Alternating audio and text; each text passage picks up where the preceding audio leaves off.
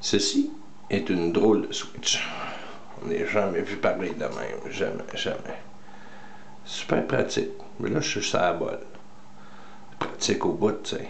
Fait que, tu sais, elle t'offre un bout de temps. C'est un peu la, belle technologie espagnole. Fait que là, tu sais, ça fait une minute, t'es assis à la bol, t'es bien préparé.